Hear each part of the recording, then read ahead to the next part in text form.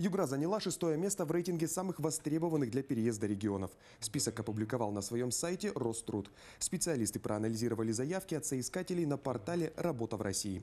В тройке лидеров Москва, Санкт-Петербург и Краснодарский край.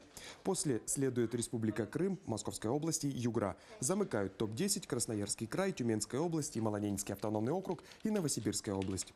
Чаще возможность переезда рассматривают менеджеры, инженеры, юристы, администраторы, водители, экономисты, бухгалтеры, а претенденты на руководящие должности. По статистике к переменам активнее готовы молодые люди от 26 до 35 лет.